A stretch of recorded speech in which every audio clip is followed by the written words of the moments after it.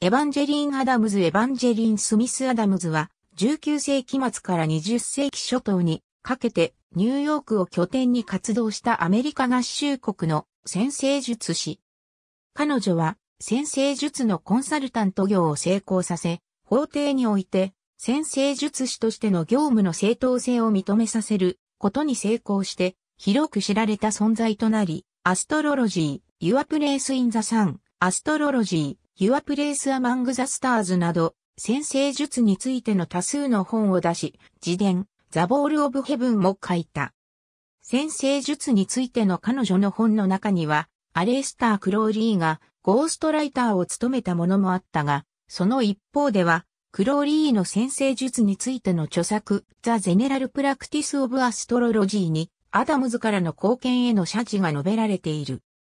彼女は、アメリカ初の占星術のスーパースターと評されている。アダムズは、1868年2月8日に、ニュージャージー州、ジャージーシティの保守的な家庭に生まれた。本人は、父方の先祖は、第6代大統領ジョン・クインシー・アダムズであると、称していた。父親は、彼女が15ヶ月の時に死去した。アダムズは、フルタイムの占星術師として、働くようになる前、おそらく彼女の雇い主だったと考えられている、ミスター・ロードという人物と婚約していた。彼女によれば、最初は彼を愛していたが、その後、彼に対する感情はすべて消えてしまい、婚約は破棄されたという。後には、ジョージ・ー・ジョーダン・ジュニア夫人とも名乗った。アダムズが教育者、ジャーナリスト、劇作家、サフラジェットとして知られたエマビオラ・シェリダン・フライのコンパニオンだったのは晩年の1920年代後半から1930年代初めである。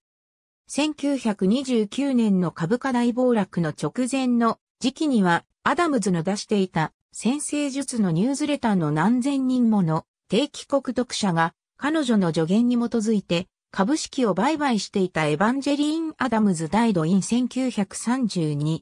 アダムズの顧客には有名人も多く、ジョン・モルガン、メアリー・ピックフォード、オペラ歌手のエンリコ・カルーソーやイギリス王エドワード7世もニューヨークの彼女の元を訪れたとされる。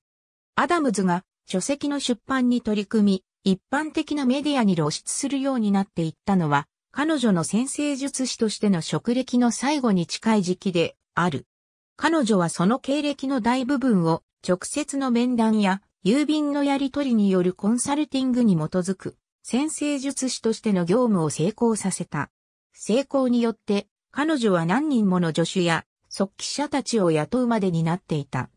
長年にわたってアダムズはクローリーをゴーストライターとして雇っていた。両者の仕事上の関係は、最後には、辛辣な対立をはらむものになってゆき、クローリーの著作、 General Principles of Astrology をめぐって、本当は、誰が、どの記述を書いたかをめぐる、著作権の争いに発展した。この件は、本の著作権は、クローリーのものだが、アダムズの貢献を認めるという形で決着した。アダムズは、運勢判断を行ったことを理由に、ニューヨークで逮捕されたことが3回、1911年と1914年、1923年にそれぞれあった。